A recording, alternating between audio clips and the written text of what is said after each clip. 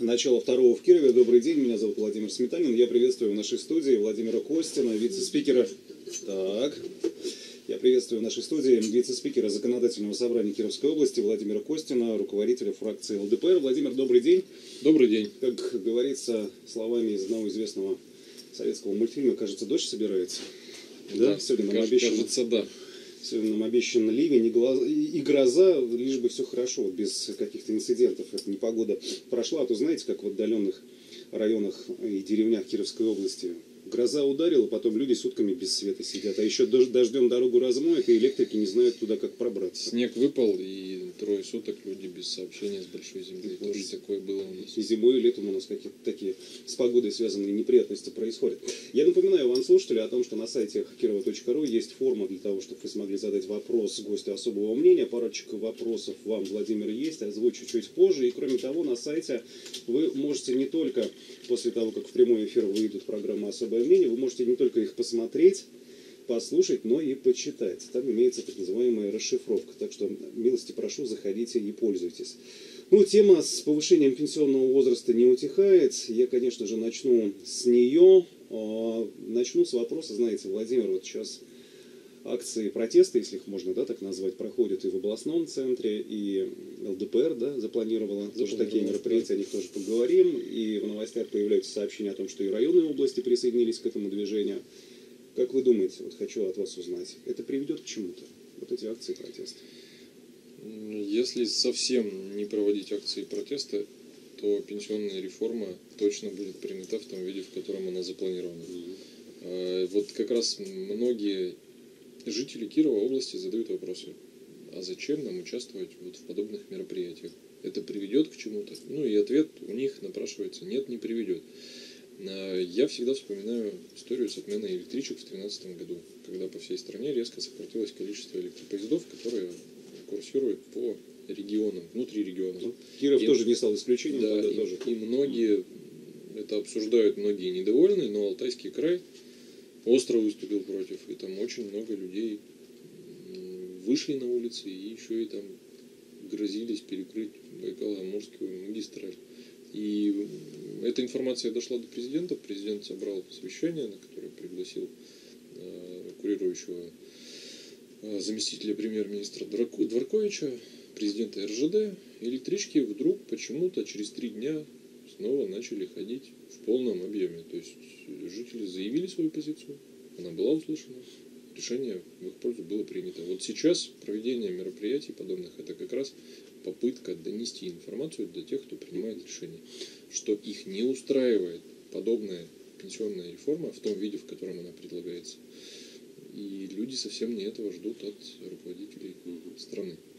Вот то количество людей, которые сейчас выходят на эти акции, то возмущение, которое высказывается, по числу людей, как вы это оцениваете? Этого достаточно или все-таки вам хотелось бы, чтобы больше людей вот так открыто заявляли ну, мне... свое неудовлетворение принятой, мне... принятыми предла... предложениями? Откровенно говоря, хотелось, чтобы э, такая форма протеста, как митинг, вообще была исключена в том плане, что не было бы причин для митингов. Да? Но в школе у нас, на улицу. Да, но в школе у нас такие причины есть.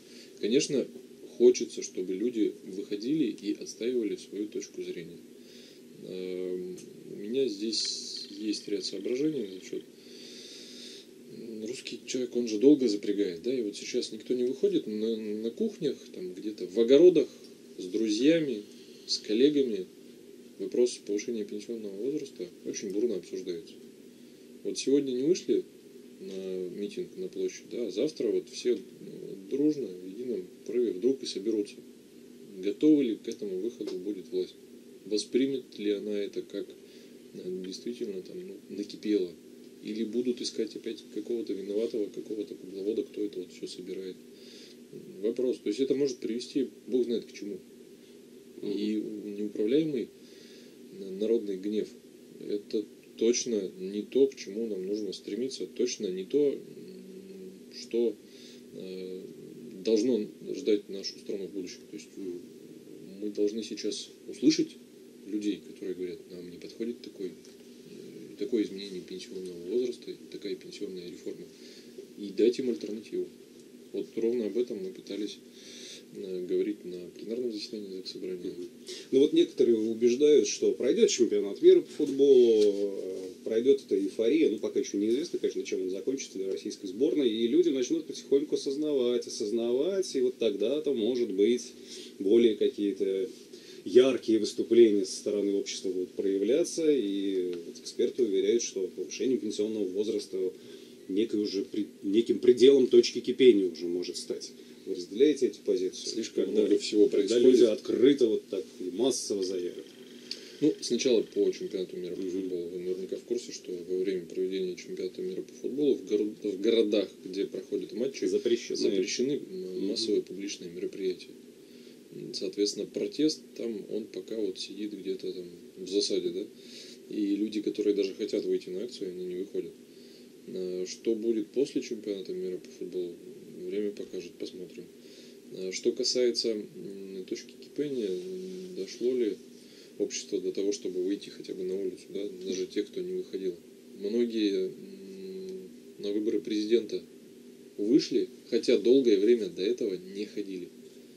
И вышли они как раз, ожидая... Вы имеете в виду последние выборы? Да, на последние выборы. Да, все правильно. Да, многие прям вот мы приезжали в районной области, встречались с избирателями в Кирове.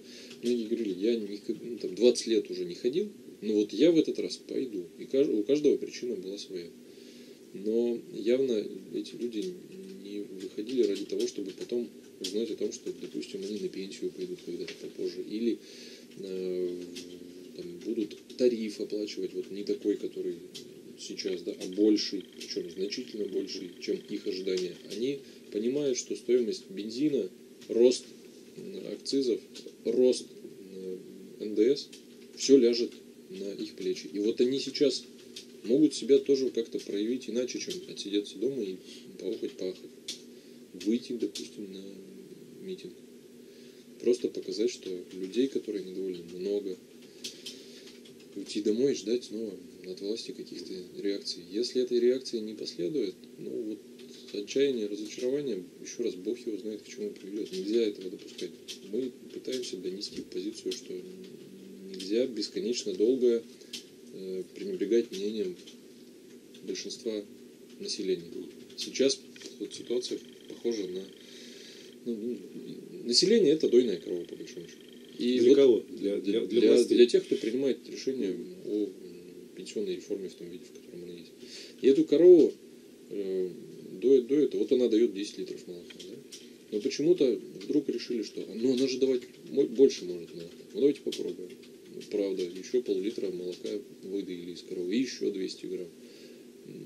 И нет мысли, что для того, чтобы корова давала больше молока, ее нужно лучше кормить.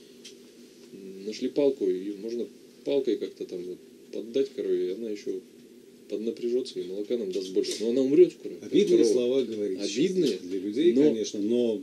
Но вот, а Люди-то а ведь это многие понимают а вам, не, а вам не кажется, что да. мы в этой ситуации как раз та самая дойная корова? Ну, кажется, там, очень часто, да. Владимир, эта пенсионная реформа касается всех, и вас, и меня, и всех наших э, слушателей.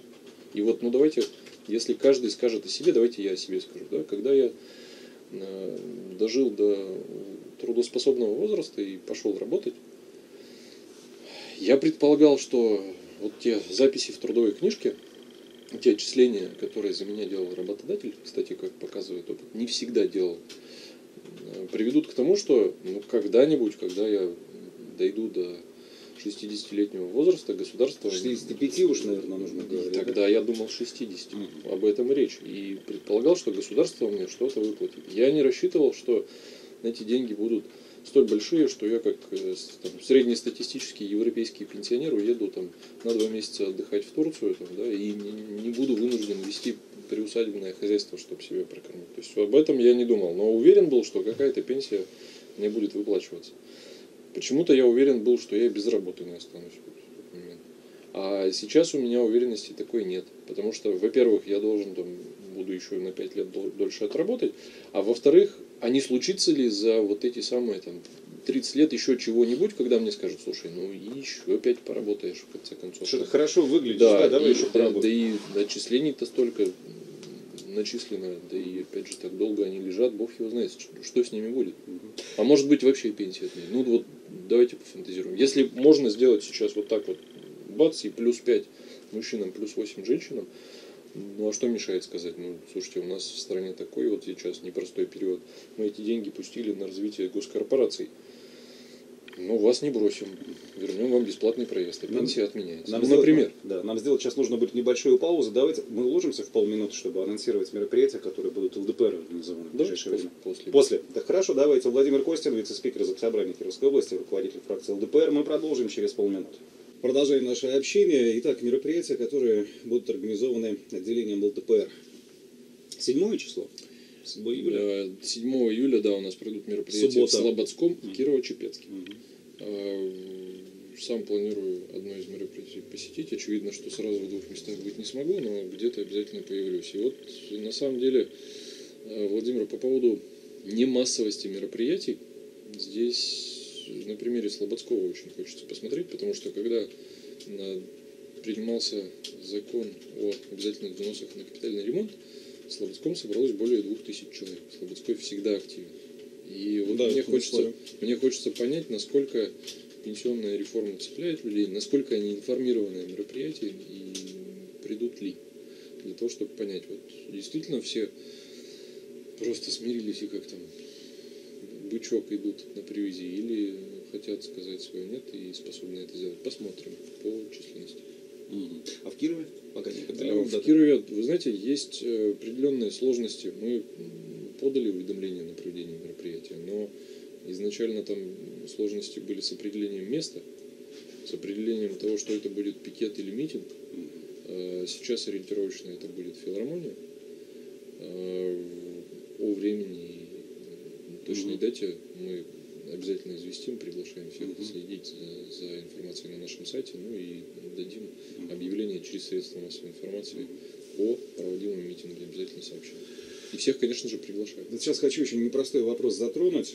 А, Вот эта тема повышения пенсионного возраста, это, казалось бы, прекрасный шанс оппозиционным силам объединиться и выступить таким единым фронтом, но это сложно сделать Ну, на данный момент. знаете, Ну вот я ну, вижу, что активно очень ведут себя в этом отношении коммунисты и ЛДПР. тут, Справедливо Россы где-то там тут на задворках. не, Вот не, оп, не о сложности, что объединиться бы. называется. в чем проблема? А, Сложно, не сложно, не так важно. Давайте, что называется, раз уж такой вопрос назрел, раз вы его задаете, мы попробуем это сделать. То есть вот, в рамках нашего сегодняшнего эфира я вполне официально приглашаю коммунистов провести совместное мероприятие. В конце концов, э, вот я подчеркивал на пленарном заседании, это вопрос не политический. Пенсионная реформа – это не, полити- не политический вопрос. Он не касается э, членов партии ЛДПР или членов Компартии. Он касается абсолютно всех жителей вопрос национальный. России. Поэтому э, почему нет? Давайте пробовать провести совместное мероприятие. Э, Предложение озвучено. Я думаю, что после эфира мы с Сергеем Павленовичем обсудим э, с представителями «Справедливой России». ЛДПР готова к совместному мероприятию.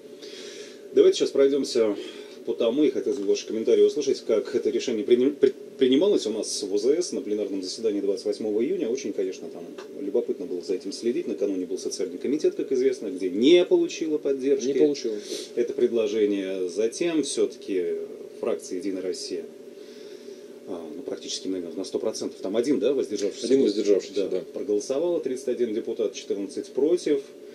И Сергей Мамаев, лидер коммунистов, в частности, на своей странице в соцсети написал о том, что ему якобы звонили депутаты и от «Единой России», и от ЛДПР, и от «Справедливой России», и говорили, что на них оказывается давление спикером УЗС. Конкретно, чтобы голосовать за. Вы подтвердите или опровергнете?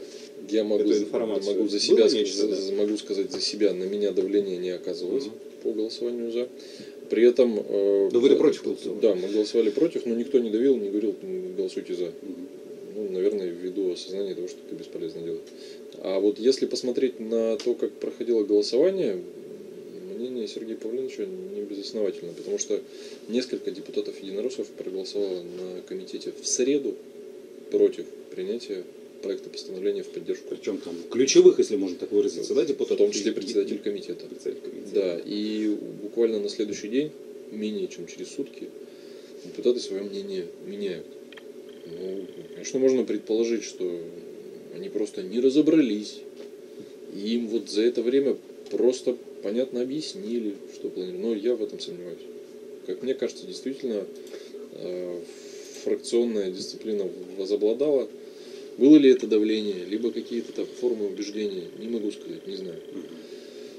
Но логика подсказывает, что без, так сказать, сурового убеждения не обошлось. Но мы же прекрасно понимаем, что фракция, проголосовавшая за это, ну, так, если все отбросить, да, те же самые люди, да, у которых есть родители, в том числе пенсионеры, Мгм. которые сами когда-то будут выходить на заслуженный отдых и голосовать таким образом. Там, конечно же, посыпались многие термины, что это геноцид против э, людей, но согласитесь, как-то подозрительно ведь чисто вот по-человечески подумать, так, по-житейски. Боже мой, когда-то ведь мне тоже придется выходить на пенсию, что мне сейчас? За, Я, заголосовать. Владимир, Против? безусловно, вот этим вопросом задавался, потому что ну, для меня он точно актуален. Да, и, там, э, встретить своих там, друзей, коллег, товарищей, избирателей, в конце концов, и услышать от них вопрос, а как ты голосовал, ответить, я голосовал за, ну, Ты мне А больше... а за- а и за- в ответ услышать, ты мне больше не А за- товарищ. зачем тогда вообще нужно было избираться депутатом, если ты, ну, по факту, действительно не представляешь интересы граждан в законодательном собрании? На- Различные там цифры сейчас есть по поддержке пенсионной реформы, но там, я вот склонен верить, что 92% жителей страны как минимум не поддерживают э, принятие пенсионной реформы. Но это официально данные опроса, э, проведенного холдингом Рамис. Соответственно, Да, да, у нас 92% не наверняка, поддержали. у нас, середине наверня- июня проводился у нас опрос. наверняка в законодательном собрании есть депутаты, которые представляют в том числе интересы тех 8%, которые поддерживают или относятся равнодушно. Ну а кто тогда представляет интересы 92% избирателей? Непонятно. И вы знаете, очень интересно сейчас опять поведение социологов, которые опрашивают россиян э, на предмет того, что им запомнилось больше всего за последние там, пару недель. И нам намекают, что вот чемпионат мира по футболу людям запомнился больше, чем изменения э, в законодательстве, связанном с, э, с пенсионным обеспечением. Вы серьезно? Ну, Ну да, хочется спросить, да. ну хорошо, ну, ну, допустим, за, за эти две недели, может быть, запомнилось больше позитивное, действительно масштабное, грандиозное мероприятие чемпионат мира по футболу. Но чемпионат мира по футболу закончится 15 июля. А повышение пенсионного возраста, э, наверное, там как раз с 15 июля нас и коснется. Где-то на эти даты назначено рассмотрение в первом чтении законопроекта. Эйфория пройдет. Пенсионный возраст отдалится на 5 лет для мужчин. А, На как- 8 для вот женщин. как, да, женщин тут, да, уже были слова о том, что что ж вы женщин-то так обидели, да, на 8 лет сразу, и мне а, прям вот так пронзило меня высказывание, а, очень эмоциональное вашей коллеги Ольги Сыльчиной, Мгм. депутата, да, представителя фракции ЛДПР, когда она прокомментировала выступление Николая Пасынкова, руководителя, вернее, управляющего отделением Пенсионного фонда по Российской Федерации, там она Конституция апеллировала, и прям вот, вот я понял, вот, вот как женщина может это воспринимать. Так резануло, вы знаете. Да, кого не резануло, да. Ну, вы слышали же выступление господина Пасынкова, Да, конечно, да. в котором ну, он чего только не говорит, кроме как обоснования А. За счет чего мы будем добиваться там наличия новых рабочих мест. Б. За счет чего будут начисляться новые пенсии. Потому что ну, это бред просто отсрочить да, там, выход на пенсию. На самом деле все понимают, что это не спасет пенсионный фонд как таковой. Когда-то к 28 году мы выровняем число работающих и неработающих. Сейчас коэффициент э, 0,98 э, работающих обеспечивает одного пенсионера, то есть мы в отрицательной там, динамике. Все это понятно. А вы раньше где были? Он говорит, я об этом трубил, там, начиная там, с какого-то года. Хорошо. Вам тогда, раз вы трубили, вопросов меньше. А те, кто принимали решение, почему они спешно вдруг сейчас, без обсуждения, принимают решение или там пытаются его принять. В чемпионат мира, опять же. да. То есть ну, не- это не может не вызывать вопросов у населения. И сейчас запрос на, вот, на то, чтобы отмотать эту ситуацию назад, как никогда высок. 92%, повторюсь, недовольны принятием пенсионной реформы. А, хотелось бы, чтобы вы еще прокомментировали позицию представителей Единой России по данному вопросу. Она звучала в том числе и в нашей студии. В прошлую пятницу руководитель фракции как раз Единой России, ВЗС Герман Гончаров, ну, во-первых, сказал о том, что тянуть больше некуда, решение нужно принимать сейчас, потому что пройдет еще немного времени, и возможно даже, ну даже он говорил невозможно, а пенсии, большая вероятность, что они начнут снижаться, потому что вся эта система пенсионная, ну все, захлебывается, буксует. А депутат Юрий Балуйбердин, тоже представитель Единой России, у нас соответствующая новость вышла на сайте кирова.ру, я несколько раз ее перечитал, но, честно, честно говоря, как-то как не убедило меня это до конца. Единая Россия проголосовала за пенсионную реформу, чтобы не расстраивать правительство. Да, вот Юрий Александрович сказал, что к нам обратились с целью, чтобы мы дали свое видение на эту реформу. Естественно, в этом случае, он говорит, сказать правительству нет, то есть не согласиться отказать, а затем начать задать вопросы и пожелания, наверное, было бы неправильно. Поэтому мы большинством голосов приняли это решение, а вот дальше медлить нельзя. А, да, а вот дальше уже можно будет принимать пожелания, поправки и так далее. Но мне я, я не понимаю до конца вот. позицию. Давайте мы сначала согласимся, а потом уже будем... Позиция ЛДПР, она, она была, кстати, отражена в альтернативном проекте постановления. Мы не просто сказали нет тому проекту постановления, который нам предложили поддержать, мы внесли альтернативное. И да. а, единственное, чем вот эти два постановления отличались, представители Единой России, которые стали инициаторами внесения проекта постановления, сказали, что, что мы концептуально поддерживаем изменения в законодательстве, а ЛДПР предложила сказать не поддерживаем. То есть вот мы не поддерживаем, но то, точно так же предлагаем навести порядок в экономике. А, предлагаем широко обсудить те изменения, которые планируются. Предлагаем избавляться от серых зарплат. Ну, то есть все те меры, которые вот коллеги предложили в своем проекте постановления, мы отразили. Другое дело, что вы правильно подмечаете, что после того, как мы согласились, чего с нами разговаривать? Ну, сразу же приходит на ум фразу там, после драки кулаками не Конечно, машут, если уже все приняли, приняли правила игры, то что дальше-то? Да, да, вот и вот опять же обозначение того, что у нас есть э, ряд вопросов, на которые мы ответы не получили, на наш взгляд, должно было быть отражено в, проекте, в постановлении, в котором все-таки мы проект пенсионной реформы не поддерживаем. Мы ждем ответов на вопросы, а потом уже будем думать, надо вообще поддерживать пенсионную реформу или нет. Капремонт у нас был точно такой же. Нам сказали, вы сначала деньги соберите, а мы потом вам э, что-нибудь отремонтируем. Сейчас проект э, новой системы сбора и вывоза твердых коммунальных отходов предполагает ровно это же самое. Давайте мы сейчас сначала деньги насобираем, потом когда-нибудь вам построим инфраструктуру и, может быть, будем мусор не просто закапывать в землю, а как-то с ним э, обходиться по-другому, там, сжигать, не сжигать, не знаю, но, по крайней мере, сортировать. И пенсионная реформа, снова мы на эти же грабли, грабли наступаем.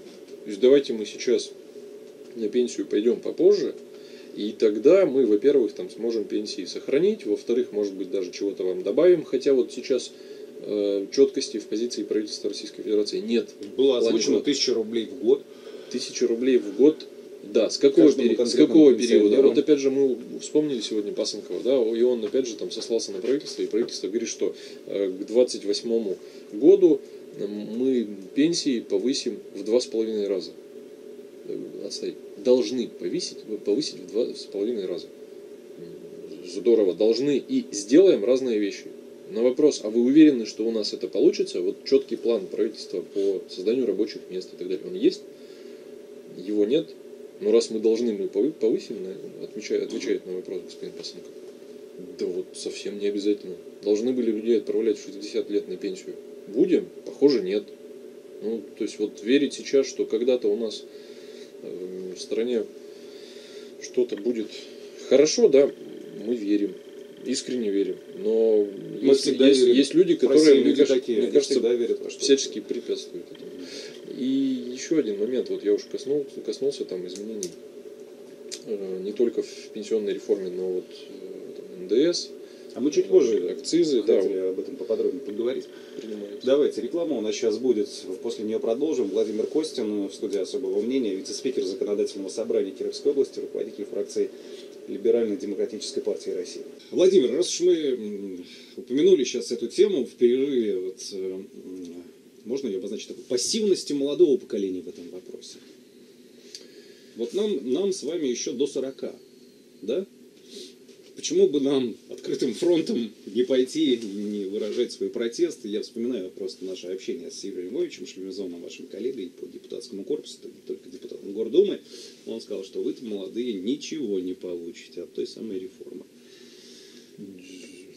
Да, Да. Юрий, Спасибо, Юрий Львович Юрий прав. Львович. Открыли Он гра- на открыли самом деле глаза. говорит понятные вещи для многих. Да? И если у кого-то сейчас есть вопрос, ну, ну, правда что ли повысит? Да правда повысит, да. Вот, то есть если сейчас не, вы- не выразить свою позицию четко и громко, повысят и спрашивать больше не будут. Можно будет дальше еще раз говорю, там, задуматься о том, чтобы вообще пенсию... Какого формата вы ожидаете да, выражения и, и сослаться от молодежи? и сослаться на то, что, допустим, где-нибудь в Китае пенсии вообще нет. Ну, например, да. А, Там я- все, на, всё на детях лежит, там вся обязанность, да, забота о да, вы знаете, меня больше, больше всего родителях. заботит продуманность вот этой пенсионной реформы. Ну, можно быть недовольным тем, что пенсионный возраст повышается, тем, что нужно будет перед пенсией работать дольше. Это бы, может, было не так страшно, если бы было четкое понимание, за счет чего государство будет обеспечивать пенсии тех людей, которые выйдут там, в 60 лет, там, в 65, ну я имею в виду женщин, там, в 63 вернее, Мгм. и мужчин в 65. А Вот четкого понимания, откуда возьмутся деньги, у меня нет. Хорошо, эти люди дольше на 5 лет или на 8 будут э, платить взносы. Но, как мне кажется, это ну, только это не решит проблему. Более того, уже там, неоднократно этот вопрос э, я озвучивал, и коллеги. А рабочие места где? Ну, то есть вот мы сейчас просто даем, э, не даем, а об- обяжем людей, которые вышли бы на пенсию, работать дольше. Готов ли работодатель к тому, что, ну, допустим, на стройке у него будут люди работать за 60? М, Не факт. Более того, это прямо не бьется с тем, что говорит президент. Президент обозначает создание гигантского количества высокотехнологичных рабочих мест. В моем понимании высокотехнологичное рабочее место э, экономит людской труд. То есть то, что то, высокотехнологичное э, рабочее место, оно вообще не, не предполагает наличие э, большого количества Да. трудовых единиц. Все верно. Соответственно, мы, мы должны переходить на автоматизацию процессов. Опять же, это высвобождает эти самые, из этих процессов людской труд. У нас же стратегия принята до 2025 года, цифровая экономика. Согласно этим планам, у нас количество людей, занятых в производстве, оно должно сокращаться. Машины, компьютеры, роботы уже должны Все делать. так. И, Да. а, но при этом мы обрекаем большое количество людей работать непонятно на каких рабочих местах, потому что ничего взамен не создали. Поэтому вот мы касались, да, там проекта постановления. Проект постановления предполагает, что мы сейчас сначала пенсионную реформу введем, а потом будем думать, а где нам рабочие места взять. Э, Неправильный подход. Давайте сначала рабочие места создадим, поймем, что у нас гигантский дефицит э, трудовой там, силы, да, потребность в людских ресурсах в рабочих, и уже после этого будем с людьми обсуждать возможность сохранить их на этих самых рабочих местах. Не гастарбайтеров же, например. Ну, я вспоминаю ваши слова, сказанные перед представителями профсоюзов, да, они 28 как раз июня выходили, высказывали свой протест, вы сказали, что тем самым мы наплодим охранников и уборщиц. Но я с этим не очень согласен, потому что рынок охранники и уборщиц, он тоже не резиновый, там всем не устроится. Согласен. Да. Я, опять же, обозначаю, что ну, путь развития, который сейчас выбран, экстенсивный. Мы просто предполагаем, что мы, имея э, высокотехнологичный трактор, возьмем плуг и будем пахать на лошади. Только потому, что у нас нечем занять вот этого будущего пенсионера, которому 60 лет ис- исполнилось, но мы ему м, в обязанность вменили еще поработать. Вот мы к этому идем. Не говорим о, о том, э, по какому пути движется любимая нашими парламентариями, некоторыми Европа, на которую они ссылаются, когда говорят о том, что пенсионный возраст нужно повышать. Да? Вот если уж касаться Европы, во Франции существует и уже там продолжительное время, несколько лет, эксперимент, согласно которому сокращается количество рабочих часов в неделю для людей. Потому что как раз таки э, машины пришли во многие сферы деятельности взамен труду людскому. И от этого никуда не уйти. И более того, этому надо радоваться. Пришел прогресс, за нас могут работать там, По этому пути идет весь мир, и автоматы. отставать нельзя, конечно. Конечно же. А мы сейчас говорим, нет, нам вот, извините, это для нас космос, мы по этому пути развиваться не будем, мы дальше вернемся к Сахе, будем вот землю обрабатывать вручную. Ну и где мы окажемся лет через 10? У нас сейчас уже отставание от Европы большое, которое удалось ликвидировать путем там, адских усилий в середине прошлого века, да, а, а сейчас мы говорим, да, да ну ладно, куда эта Европа от нас убежит, у нас вот тут внутренние проблемы, пенсионный фонд дырявый, никто не говорит о том, почему пенсионный фонд дырявый, как так сложилось, что у нас... Народ, спросите народ, народ скажет, И- воруют. И только ли, Владимир, дело в том, Вот что и у нас дырявый. людей, выходящих на пенсию сейчас, больше, чем людей, которые способны их заместить и приходят.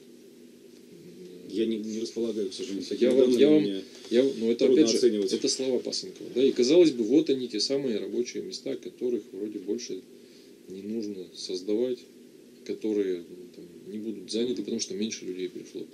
Но еще раз говорю, прогресс. Прогресс предполагает, что даже вот если уж там касаться сельского хозяйства, да, сейчас не нужно такое большое количество механизаторов, сейчас не нужно такое большое количество доярок. Если раньше доярка там была закреплена за каким-то там звеном, э, там, условно 20-30 коров, да, сейчас есть автоматы револьверного доения. Один оператор их обслуживает, Тут там, или два. ставят, да. Да, ну, ну и где те рабочие места, на которых доярки будут оставаться и работать до 63 лет? Их нет, и большинство даже тех, кто голосовал за э, там, обозначенный проект постановления в поддержку пенсионной реформы, это понимают, и у них этот вопрос есть, и им тоже, наверное, хочется сначала ответы получить. Но вот у нас как-то все кривенько, и мы сначала там согласимся, а потом будем ждать изменений. Оцените, пожалуйста, инициативу Федерации профсоюзных организаций Кировской области. Роман Александрович Береснев озвуч- озвучил. Ну хорошо, вот так будем работать, до 65 мужчин, до 63 женщин, тогда делайте 6-часовой рабочий день.